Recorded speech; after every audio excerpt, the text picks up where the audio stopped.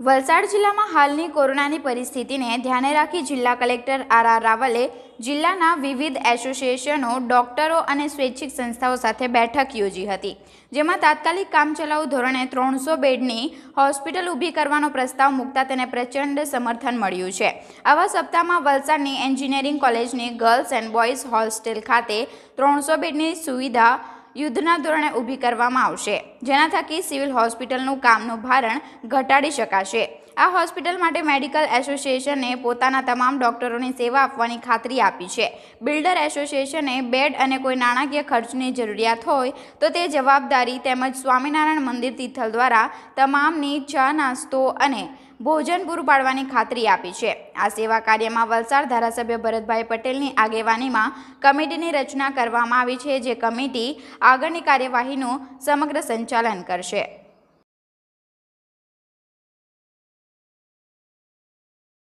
જે કલેક્ટર રાવલ સાહેબની આગેવાનીમાં એક બેઠક પડી હતી, જેમાં કોવિડ નાઇન્ટીન મહામારી જે રોગ ચાલી રહ્યો છે એના સંદર્ભમાં વલસાડના જાનામાના દરેક કોવિડ હોસ્પિટલના ડૉક્ટર્સ, જિલ્લાના તથા કોરી એસોસિએશનના મેમ્બરો, વેપારીઓ અને એનજીઓ અને ખાસ કરીને મેઇન મેઇન વ્યક્તિઓની બેઠક રાખવામાં આવી જેમાં હાલમાં જે બીમારી ચાલી રહી છે, કેમ કે સિવિલ હોસ્પિટલ ફૂલ છે, કોવિડ દરેક હોસ્પિટલમાં ભરાવા પુષ્કળ છે અને હજુ પેશન્ટ આવી રહ્યા છે.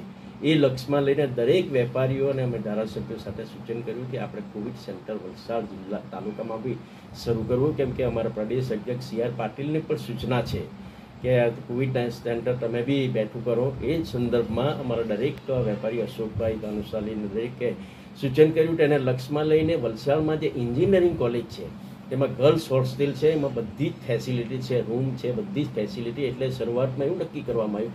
પચાસ બેડથી પછી શરૂઆત કરીને ત્રણસો બેડ છે વિથ ઓક્સિજન દરેકની ફેસિલિટી થાય એ રીતનું અમે તૈયાર કરવા તરફ જઈ રહ્યા છે, જે માટે બિલ્ડર્સો કોરી એસોસિએશનના પ્રમુખશ્રીઓ અને વેપારીઓ અને દરેક ડૉક્ટર્સે આ બાબતમાં સહયોગ આપવાની ખાતરી આપી છે, કલેક્ટરે પણ ખાતરી આપી છે.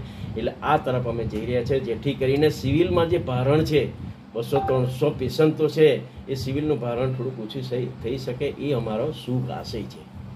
આ કઈ કઈ રીતની અંદર સેવાઓ કરવામાં આવશે અને કયા કોના તરફથી આપવામાં આવશે કામ? ખાસ કરીને મેં જે હોસ્પિટલમાં જે ફેસિલિટી છે, સિવિલમાં જે ફેસિલિટી છે, કેમ કે માણસોને આ કોવિડ નાઇન્ટીનમાં ઓક્સિજનની અછત ઉણપ રહે છે. ખાસ ઓક્સિજનની અમે ફેસિલિટી શરૂ કરવાના છે.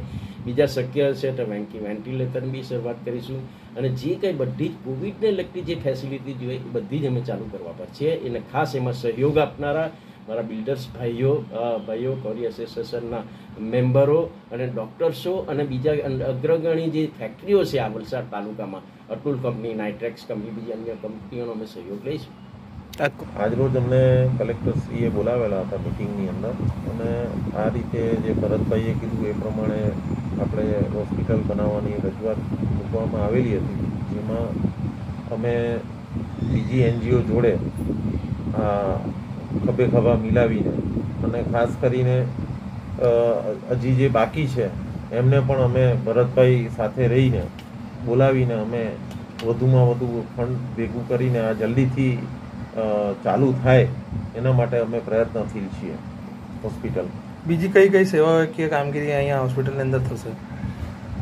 હોસ્પિટલની અંદર અત્યારે કોરોના પેશન્ટ જે આવે છે એ ઓક્સિજન ઓક્સિજનવાળા બેડની વધારે તકલીફ છે.